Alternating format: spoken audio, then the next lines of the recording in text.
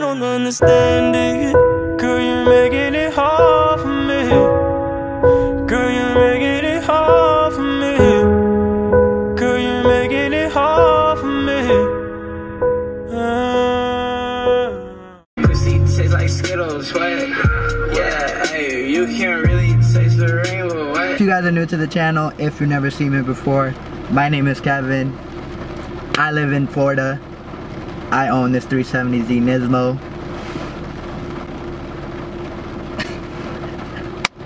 and I make videos of my life.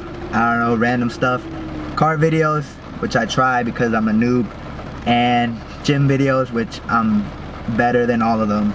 Uh, which is better than all of them because I actually work out and love working out.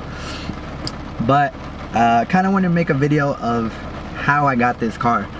Um, so since I could remember, I know I knew that I've always wanted this car. Like I've this has been my my dream car like since I could remember.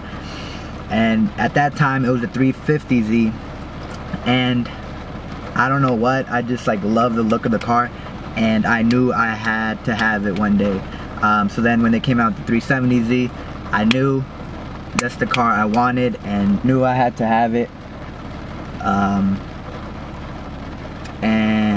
yeah, so I graduated tech school in August last year, almost a year ago, which is crazy because time flies. But I knew from tech school I was gonna get this car, like nothing was gonna tell me no. So I graduated, I went home for three weeks, and I knew I wanted to get this car um, because I knew I needed a car first of all, and I planned to buy it back at home just because I wanted to take my mom with me because uh, she knows more about buying cars and all that. So I knew I had to get a car and I, I planned to drive I planned to drive planned to drive from Maryland all the way down to Florida which was a nice ride. Kinda. Not really. If you're by yourself and you go on a long road trip it's kind of hard to like stay focused. I mean I liked it just because you're by yourself and you're jamming out by yourself but when you have someone sitting next to you and talking to you it's a lot easier but I made it. Um, so the how I got this car um, I was look at like while I was in tech school I was looking at uh, 370Z Nismos. I knew I wanted a Nismo either 2010 11 or 12 just because I love how the body looks. Like I like the way it looks now or back then than the ones they have now. So I knew I wanted to get a used. It wasn't gonna be new um, 370Z Nismo. So I knew I wanted a white and it had to be a Nismo or any white honestly. It, like if I didn't find a Nismo I was just gonna settle with a base with a base 370Z Nismo white. But so I was looking and I found one in Virginia which my mom and I were we went to go look. It was a 2010 370Z Nismo. Um, it's not the one I have now.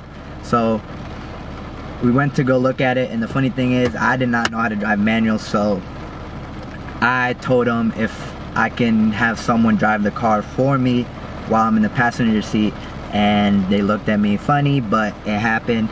And even just sitting in the passenger seat I knew I loved the car I loved everything about it. Um, the guy really kind of didn't know how to drive manual but he tried and I mean he, he took me on a ride but uh, yeah so they weren't trying to come down on the price for that car and like at all like not even a dollar. And so my mom and I we just decided to leave. Uh, we told him we might come back if we're interested if we don't find another one. But so we left and like literally like two minutes later he texted me talking about oh we can lower the price. Um, I think he was saying like 1500 or I think it might have been 500 and I was wanting to come down like at least a G or two. And they weren't even trying to do that. And the fact that they had to wait until we left sorry I feel like I have some shit on my lip.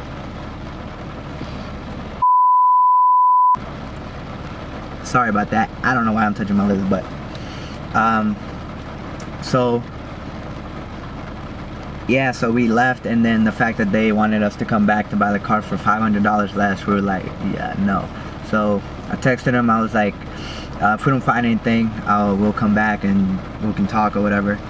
So I went to this other dealership where I was looking at a base 370Z, uh, just base 370Z. It was a gray one. I think it was a 2013 or 14, and it was like a lot newer, uh, but it was base model, so it wasn't. I mean, it was still a 370, and I planned to buy it because I I knew I wasn't gonna find another Nismo. So we, uh, same thing with the other dealership. We went on a ride, and or someone had to drive the car, and I knew I, I wanted the car.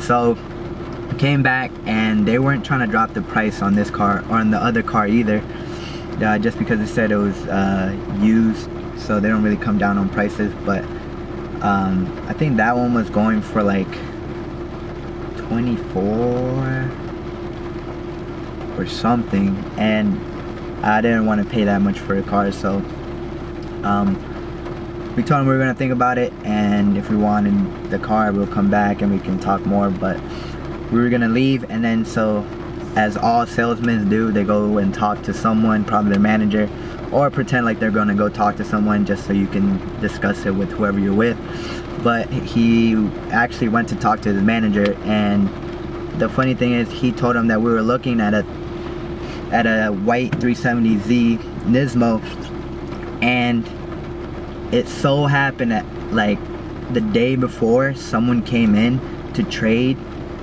the 370Z. I fucking need water.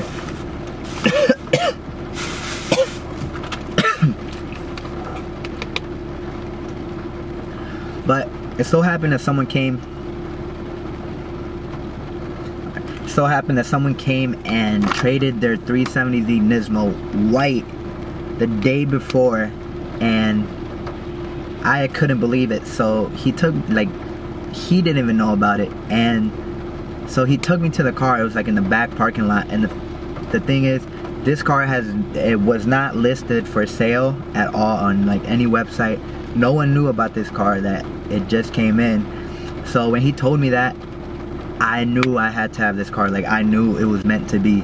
Um, so he, um, I didn't drive in this car just because I already knew like how it felt and how it is to be in this car.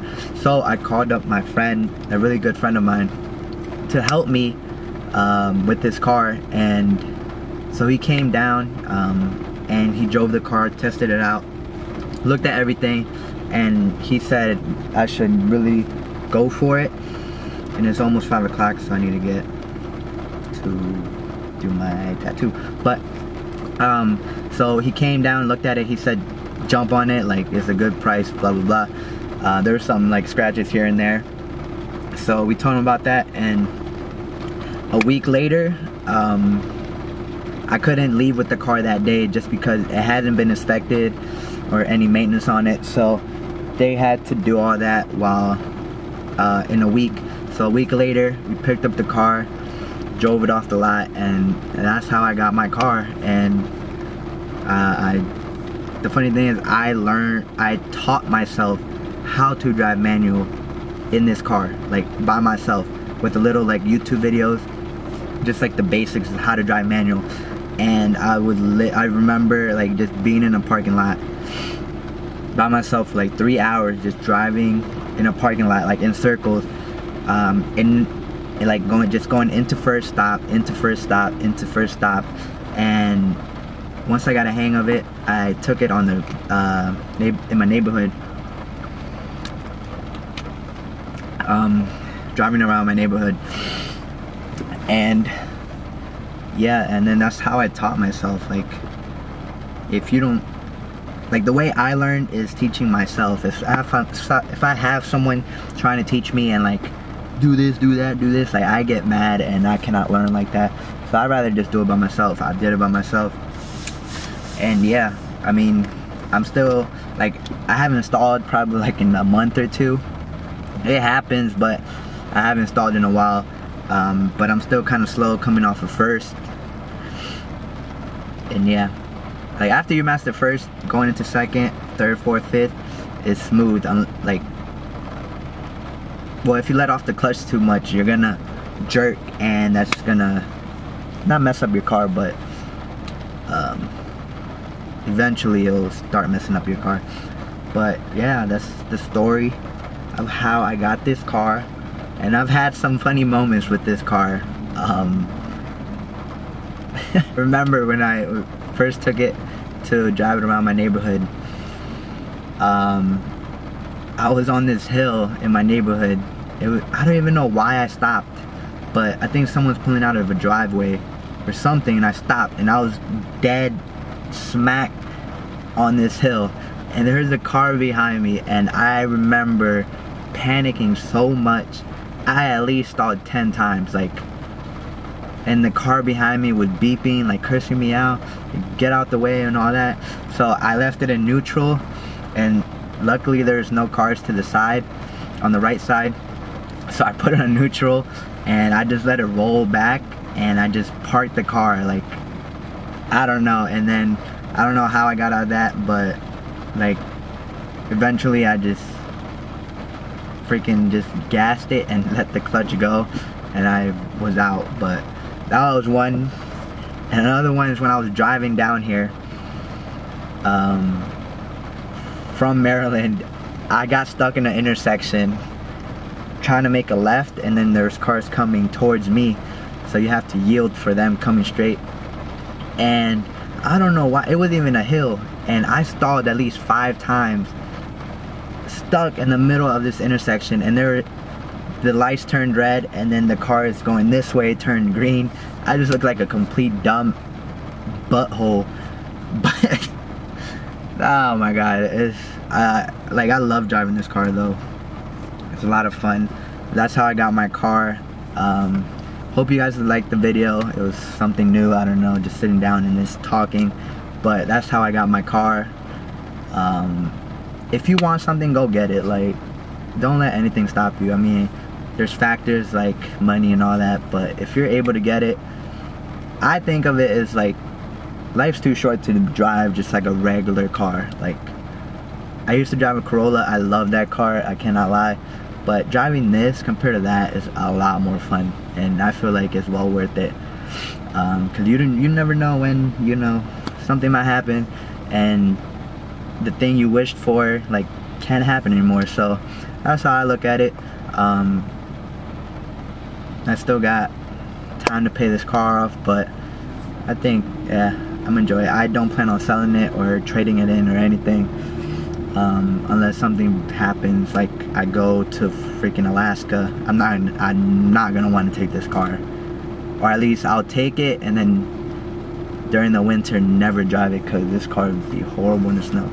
But now I'm just rambling on. This video is gonna be way too long, so I'll catch you guys on my next video. Peace out. If you guys don't follow me on social media, I have a page just for this car, which is underscore dot kev, K-E-V-Z 34. Um, that's where I'm going to be posting pictures and videos of this car. And then I have a personal page, which you guys can see in my bio in that page. Uh, follow me on my social media. See you guys whenever. Peace out, stay lit, Eagle Gang. Love you guys. Yeah, ay. Mm, ay, ay, ay. I like bitch, you is your mess, ay. Can't keep my dick in my pants.